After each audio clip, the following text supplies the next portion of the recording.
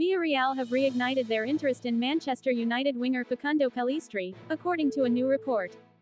The 22-year-old Uruguayan joined the Premier League side in October 2020 for £9 million, but has struggled to crack the first team at Old Trafford, with two loan moves to Spanish club Alaves. Now it is felt that the winger might be the next star to leave Man United in the January transfer window, with manager Erik Ten Hag willing to let Pellistri go. The Sun report that Villarreal are lining up a potential permanent move for Pellistri, having initially shown interest in the 22-year-old in the summer.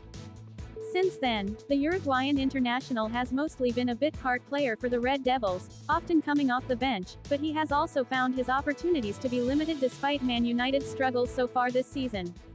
Two months ago, Ten Hag said, for Pelli Pellistri, he has to make a step from a bench player, often having a very good impact, to a starting 11 player. We will see how quick that process will go. That statement instigated rumors of yet another loan move, potentially to La Liga side Seville, or League One side Nice, owned by Sir Jim Ratcliffe, who recently confirmed the purchase of a 25% stake in Manchester United. However, Seville's La Liga rivals Villarreal are offering a permanent option that might work for all parties. Pellistri last started for Man United in September, despite the club's notable issues up front, with the return of Amad Diallo adding to competition in the Uruguayan's role, and Alejandro Garnacho shining out on the wings in a tough campaign. Jadon Sancho, another one of Man United's many wide attacking options, looks set to finally leave Old Trafford, with a loan move to Borussia Dortmund imminent.